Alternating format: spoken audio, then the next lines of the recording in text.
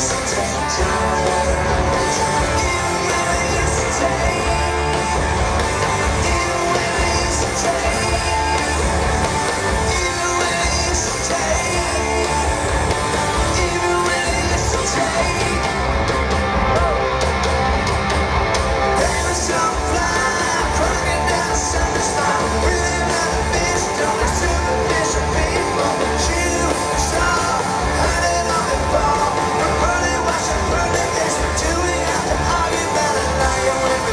about love.